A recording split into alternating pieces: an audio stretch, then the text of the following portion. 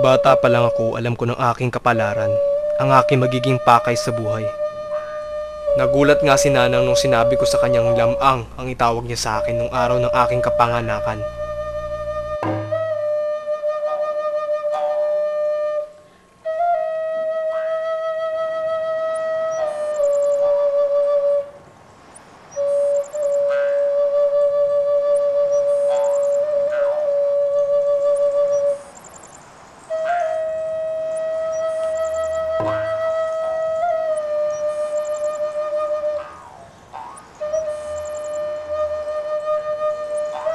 Ngayon, maaari na kayong matahimik ama.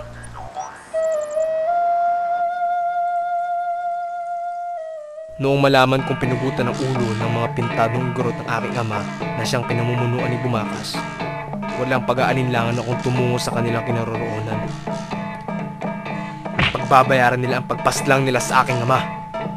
Ang karasan nila ay dapat gantihan.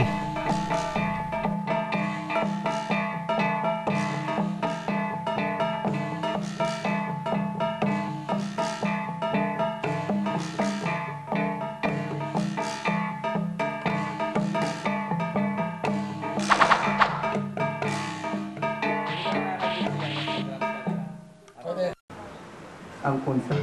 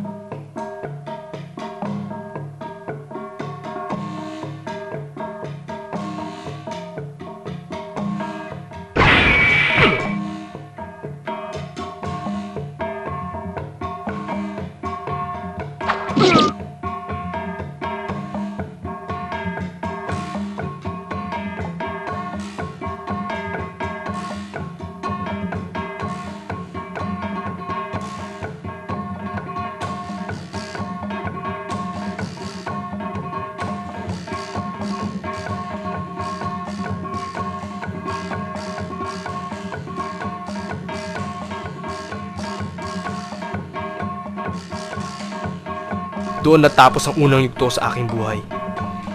Ngunit hindi doon nagwawakas ang aking pakikipagsapalaran. Makulay ang aking nakalipas. Ganon din ang aking naharap.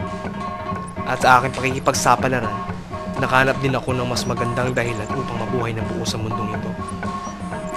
Ako si Lamang. Ito ang aking buhay.